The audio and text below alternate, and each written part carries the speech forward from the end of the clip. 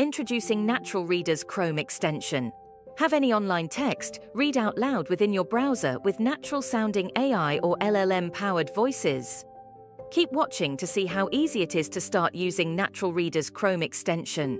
Simply click on the Natural Reader Chrome extension on your toolbar, then click on our voice list to choose from 200 plus potential voices, including multilingual LLM voices that can speak 90 plus languages. Then simply click on the play button to start playing, Have you heard of our Chrome extension?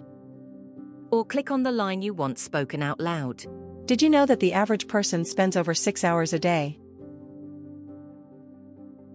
Web pages and articles can often be very distracting with videos and ads everywhere.